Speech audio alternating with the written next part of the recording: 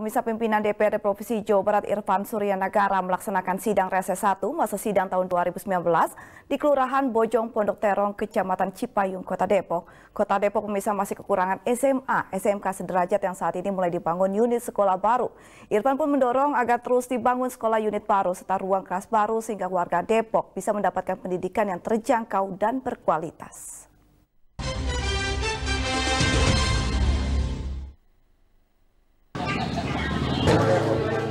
Pimpinan DPRD Provinsi Jawa Barat dari daerah pemilihan Jabar 6, Kota Depok dan Kota Bekasi, Irfan Suryanegara, melaksanakan kegiatan reses 1 masa sidang 2019 di wilayah Kelurahan Bojong Pondok Terong, Kecamatan Cipayung, Kota Depok. Irfan mengatakan Kota Depok kekurangan SMA, SMK sederajat dan saat ini mulai dibangun unit sekolah baru. Irfan pun mendorong terus dibangun unit sekolah baru serta ruang kelas baru dan berbagai fasilitasnya agar warga Depok bisa mendapatkan akses pendidikan yang ter terjangkau dan berkualitas.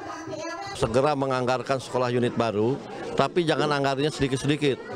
Jadi saya nanti di Badan Anggaran akan meminta anggaran full. Karena ini sekolah udah jadi, ada siswanya dari kelas 1 sampai kelas 3. Kalau cuma dikasih 9 lokal, tuh yang lain sekolah di mana kan?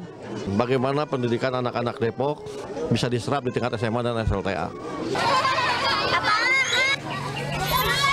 Kota Depok yang layak bagi anak menjadi salah satu aspirasi yang menguat dalam kegiatan reses 1 tahun 2019 anggota DPR Provinsi Jawa Barat daerah pemilihan Jabat 6 Kota Depok dan Kota Bekasi Imam Budi Hartono di wilayah Kelurahan Beji Timur Kota Depok. Imam mengatakan Depok sebagai kota yang layak bagi anak bisa diwujudkan dengan infrastruktur yang mendukung bagi kehidupan anak seperti tersedianya taman bermain dan drainase jalan lingkungan yang tertutup. Imam pun berharap selain mewujudkan kota layak anak, warga Kota Depok juga juga bisa mewujudkan kota yang ramah anak dengan bersikap santun terhadap anak sangat mendukung karena memang uh, infrastruktur itu satu bagian dari sebuah kota dikata layak, dikatakan layak anak.